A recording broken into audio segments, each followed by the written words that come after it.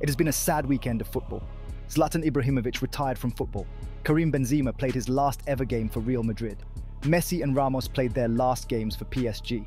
What could be both of their last games in Europe? 41 year old Joaquin retired from professional football. Eden Hazard terminates his contract with Real Madrid and is considering retiring. We're really seeing the end of the generation we grew up watching.